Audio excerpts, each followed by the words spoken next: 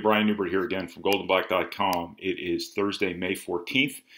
Uh, this is your GoldandBlack.com daily quarantine uh, simulcast for today, second to last of the week. Uh, it is brought to you by Fox Purdue Bookstores, Purdue Federal Credit Union, the 6th Street Dive Restaurant, First Source Bank, East End Grill, and the Charters Team Remax Ability Plus. Want to remind you once again if you're looking for a hell of a dinner, or to support our local businesses through quarantine here, please keep in mind the East End Grill in downtown Lafayette, the 6th Street Dive around downtown Lafayette, Arni's all over the state, Bruno's in West Lafayette, and the Whitaker Inn out in West Lafayette. All of them would love to hear from you. Um, also, want to remind you if you're accessing this via YouTube or whatever platform, our podcast platform at Golden Black Radio, please subscribe. When the world starts to spin again, we will have a um, steady flow once again of content. The word I hate, but I keep using because there's no good synonym um, on those platforms. So please subscribe uh, if you could. There's lots to talk about right now. Um, yesterday, Purdue got a football commitment in uh, wide receiver Deion Burks. Last night, the recruiting dead period was extended through June, a very significant occurrence on the recruiting front. Um, but I did want to take one more video to talk about basketball a little bit um, in the wake of this week's news and obviously the much publicized interview Matt Painter did on the Dan Dakich show in Indianapolis yesterday. If you haven't listened to it, I would recommend uh, you listen to it. It's very interesting. It's very, very honest. Um, people, when people hear Painter talk on the radio, it tends to stand out to them a little bit more than it does to me because I've been around the man for 15 years. I kind of know what to expect from him when he opens his mouth in public. Uh, this was the sort of thing that was just that. Uh, it kind of got a little bit of national traction because of the forthrightness with which he talked about Nojel Eastern's transfer from the program, Matt Haarms' transfer from the program, and just kind of the state of things right now. Um, but it was a very interesting listen. Uh, it was very consistent with Matt Painter's typical approach to such things, kind of what you get from him. He is very much uh, into honesty, very much into substance, very much into what I might call old school sensibilities uh, so to speak, the sort of guy who stands for things that the game is quickly passing by, yet he's been able to continue to exist in that way as the game has, again, sort of passed by a lot of the things uh, he stands for, but he is going to continue standing for them nonetheless. Uh, so once again, I would I would uh, recommend you give that a listen. Um, some of the things he said were pretty were pretty eye opening. I think some things too Twitter has kind of uh, taken out of context a little bit. It's very difficult. You know, part of the challenge from a reporting perspective when you're tweeting is to make sure you get context too in terms of some things uh, that are said. It's very easy to take bits and pieces and warp them into something that sounds like the opposite of what the person speaking uh, intended um, to say. But obviously, the Nojel Eastern and Matt Haarms' uh, transfers are a little bit of a of a uh, I, I don't want to call a raw um, situation for Purdue right now. Uh, obviously, when both of your uh, two seniors depart in the manner with which they departed, both of them not immediately right after the season, either both of them after taking a period of time um, before actually uh, making their intentions known. Um, the story of this past season was I didn't finish that sentence, did I? Uh, that's because I'm I'm kind of out of control on this. Uh, I thought I had my thoughts gathered. I do not.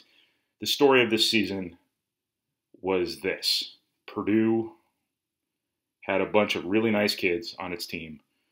Competitiveness was seriously lacking. I think that was painfully evident. Leadership was sorely lacking. I think that was painfully evident. And I think this was the chance for Nojel Eastern and Matt Haarms as the team's two most experienced guys, its two captains, its two most proven players to really grab this thing um, by the neck, so to speak, and make something of this season. Purdue needed a lot from them, and they did not have the sorts of seasons they wanted to have. Purdue lacked leadership, Purdue lacked an edge, and I think that reflects on those two players probably more than it did anyone else.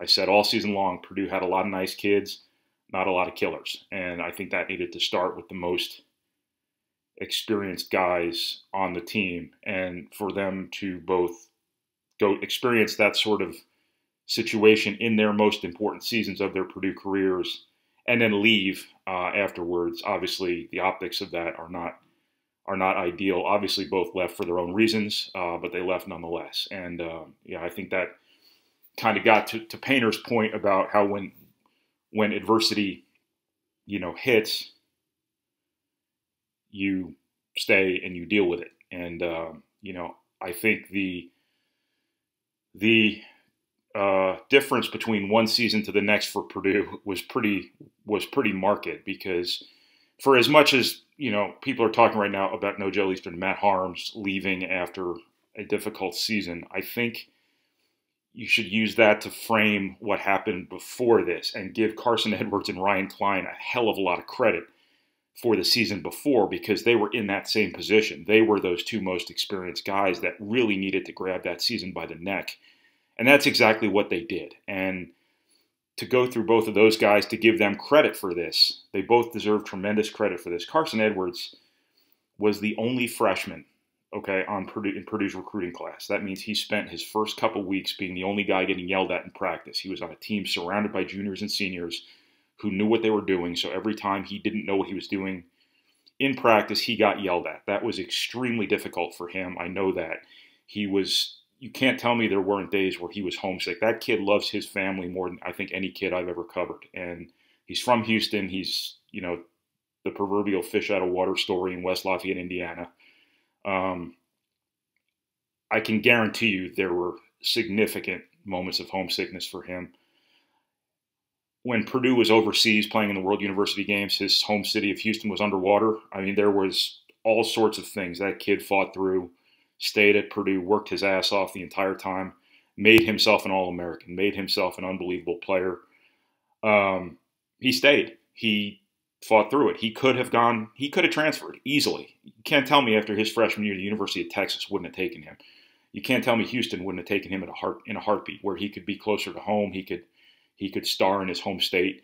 He could have done that. He could have done that easily, and he didn't. He stayed and he worked like no player at Purdue, Caleb Swanigan perhaps aside, has worked, and he deserves tremendous credit for that. Ryan Cline was stuck, literally stuck, behind Dakota Mathias for three years. Dakota Mathias was a great college player. I mean, a really, really good college player, a great player at Purdue, a guy who was just really good. And the timing uh, of Ryan Cline coming in right behind him, you know, was not ideal for Ryan Cline maximizing his opportunities at Purdue. He did not redshirt as a freshman. He played three years essentially behind Dakota Mathias. The first year, he he split his minutes between Dakota Mathias and Kendall Stephens too, and obviously his sophomore year had a, uh, obviously an off the court issue, his own personal his own personal problems, he could have bolted. He could have run. He could have just gotten the hell out of Dodge and uh, found a place where he would have played more, found a place where he could have run from the optics of his issue. And he didn't do that. He stayed. He got one full season as a frontline player for Purdue, and damned if he didn't make the absolute most of it. Had a hell of a season, won a Big Ten championship, damn near went to the Final Four that is the sort of thing that Purdue would love to have gotten from Nojel Eastern and Matt Haarms last season. That is a thing Purdue would have loved to have gotten from Nojel Eastern and Matt Haarms next season, uh, should they have returned. Obviously, they are not, but I did want to take this opportunity to give Ryan Cline and Carson Edwards a hell of a lot of credit for doing exactly what Purdue did not get uh, this past season. Um, again, Purdue needed leadership. Purdue needed its veteran players to play like veteran players. Purdue needed its most established and best players. Uh, I think Nojel Eastern and Matt Haarms came into the last season. It was a reasonable presumption that those two guys, plus probably Trevion Williams, you know, were Purdue's three highest end players. Um, Purdue needed those guys to have their best seasons. Purdue needed those guys to be leaders. And obviously, the season went how the season went. And that reflects, I think, on the older guys more than it reflected on anybody else. Now, all of this being said, I sound like a, a, recruit making an announcement of some kind there by saying, with that being said, because I think the recruit announcement, the Notes app announcement by by high school kids these days has been a renaissance of sorts for the phrase with that being said, because they all say that. The, the last sentence or two of those announcements all are prefaced with with that being said. Um, anyway, with that being said, I think With Purdue now, they face another what I would call cultural turning point, and they've had a couple of these over the years. Rapheal Davis loomed really, really large um, as part of one of them. The 2014 class was part of that as well. Those guys brought Purdue tremendous substance when Purdue needed substance desperately. Rapheal Davis, people I don't think understand his legacy necessarily uh, in terms of the leadership he provided when Purdue needed leadership that does not show up in statistics. Uh, but it was one of the most impactful elements of Purdue's turnaround here, making, I think, what, six NCAA tournaments in a row, something like that. Um, now Purdue stands in this position again, where I think the guys you needed to be your cultural stalwarts, um, A, failed, and then B, left. Uh, and now Purdue's in a bit of a a bit of a different situation here, where now you're sitting here and you've got four juniors who need to be your seniors now. Two of those guys are fourth year juniors, so they're not necessarily traditional juniors, but you have a team that needed to be led last season, and now the guys who needed to be led last season need to be the leaders themselves. Leaders don't have to be seniors. You know, that that's just not the reality of it. Uh, but Purdue needs its older guys now uh, to really to play like older guys. Purdue needs some uh, some guys to step up and be and be something much different than they were last season. They need leadership. They need competitiveness. They need an edge. They need a work ethic. Uh, I, I think, you know, looking back on it now, hindsight when covering a program, when watching a program, whatever it might be, always is clearer than foresight. Is that the word? Uh, and when Matt Painter, before the season, said to his team that he gathered everybody, he looked them over, and he said, "Who here has worked as hard as Carson Edwards, and who here has worked as as hard as Caleb Swanigan?" And to hear him tell it, no one replied in the affirmative. There was your first red flag, guys.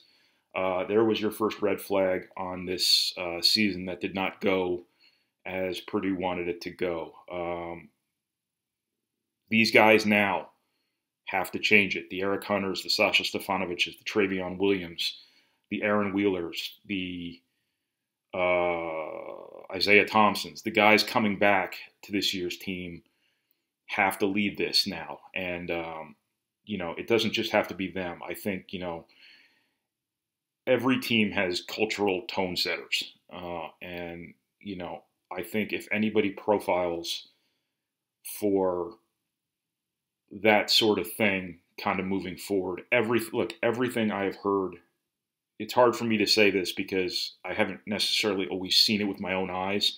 I prefer to see things with my own eyes before I say them publicly. But everything I've been told, everything I've heard anecdotally, everything to a lesser extent I have witnessed, Mason Gillis and Brandon Newman are two extremely hardworking players. I know this to a certain extent because when a Purdue basketball home game ends, I work several hours in the arena. And when I leave, I go past the floor and I go past the practice gym. And I know a number of times there was a basketball bouncing. This is well after midnight. There was a basketball bouncing in the practice facility, and it was one of the two redshirting freshmen, if not both of them. Uh, they're late, late, late at night working out hours after a game that they couldn't even play in. Uh, those guys, their work ethic, they can take that upon themselves. That is how they can impact this program in the short term. I think Ethan Morton's substance, I think Jaden Ivey's intensity and energy, uh, manic work ethic from everything it's been described to me as. I think the young guys can also be very much a part of the solution here, and Purdue certainly needs it to be, uh, because once again, Purdue had a bunch of really, really nice, really, really laid back kids on its roster this year and went 500. They need competitors, they need killers, and they need a foundation of substance, of competitiveness, of drive, of work ethic, whatever it may be. I know that sounds like a lot of cliches and stuff, but that stuff is real. You know, uh, I'm not part of a college basketball program, but I see it up close enough to know what's important and what's not. Um, and that stuff is really important. And Purdue just needs to find it right now. Uh, on paper, it doesn't look like it's obviously there. Uh, but Purdue needs to find it one way or another when all these guys are at home and they're doing whatever they're doing on their own uh, because it's such a non-traditional offseason. That's where it has to start. Uh, this team has to has to find the sort of intangibles that the team before it had the the the work ethic of Carson Edwards, the substance of Ryan Cline and and Grady Eifert, but also whatever it was that compelled Carson Edwards and Ryan Cline to stick at Purdue through really really difficult times. Those guys deserve tremendous credit for that uh, because that was the opposite of what Purdue had this season and. Um, I think the contrast between one season and the next is really, really stark. Uh, so that's what I wanted to talk about. Look, I, I, I don't I don't mean to do 25 content items. I keep using the word content even though I hate it. I, I don't mean to do 25 content items every time I can transfers, but um, I did come up with this today, this, a, a, lot of these thoughts this morning, and um, it always happens right after I write my column. You know, I write my column on Wednesday, and then I think about a bunch of things that I think are interesting and compelling, and my next column's not till Wednesday. So you're my outlet for my uh, surplus overflow thoughts. So thanks everybody for lending your ear to my surplus uh, thoughts for the week. And uh, I hope you have a good rest of your Thursday. This has been your GoldandBlack.com. My nose is itching. This has been your GoldandBlack.com daily quarantine simulcast brought to you once again by Fox Purdue Bookstores, Purdue Federal Credit Union, the 6th Street Dive Restaurant, First Source Bank, East End Grill, and the Charters Team Remaxability Plus. Want to remind you once again, and as always, and until the day this is all over with, East End Grill, 6th Street Dive, Bruno's, Arni's, Whitaker Inn, all remain open for carryout orders. All would love to hear from you. All will provide you with what I like to call damn good food. Thanks, everybody.